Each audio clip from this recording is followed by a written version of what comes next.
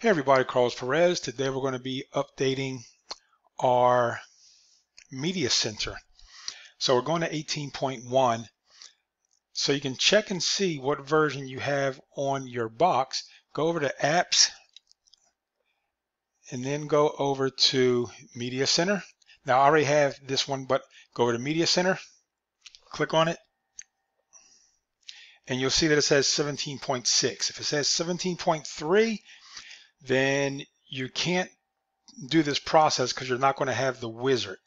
You still have the updater app. So we need to transfer you up to 17.6 so that you can do the update to 18.1. And there's not a lot of people that have the 17.3 um, still. So this is, again, you know, a walkthrough on how to do this.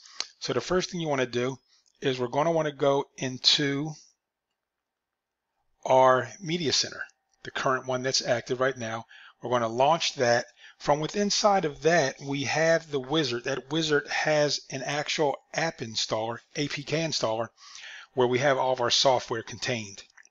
So it's going to allow you to effectively really be able to handle everything you need to handle as far as updating and things go.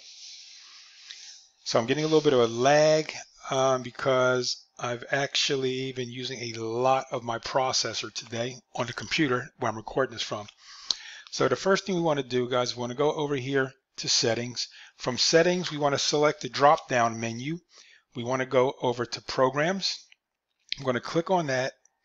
From there, we're going to want to go to our Pyro Wizard. Now you see everything is kind of in alphabetical order. So I'm going up with my key and I'm going to go to the Pyro Wizard. Once I get there, I'm going to click OK.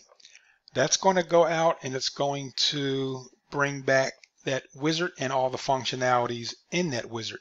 Now, I already installed 18.1, so I'm just going to show you the point that you get to because, again, it's already installed. So you're going to want to go over to the APK installer. From that APK installer, this is where everything is going to happen.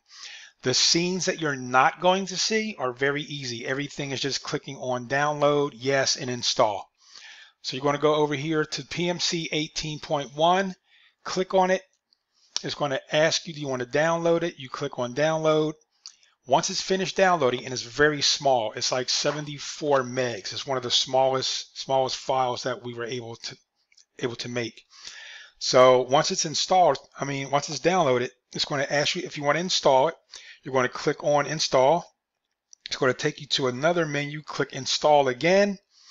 And once it installs, you're done. And that's all you need to know to update it from the 17.6 to the 18.1. So again, you click on PMC 18.1, yes to download, and then install, install, and you're finished. You will now have 18.1 on your box ready to go. If you guys have any questions, reach out to me, 760-422-3052. It's always best to text me first, as that would allow me to let you know when I'll be available and can get back to you. So I hope you found this very easy and informative, and you're able to update your box so you can start enjoying our new build along with the new media center and other options we have. So guys, thanks again. Talk to you later. Bye.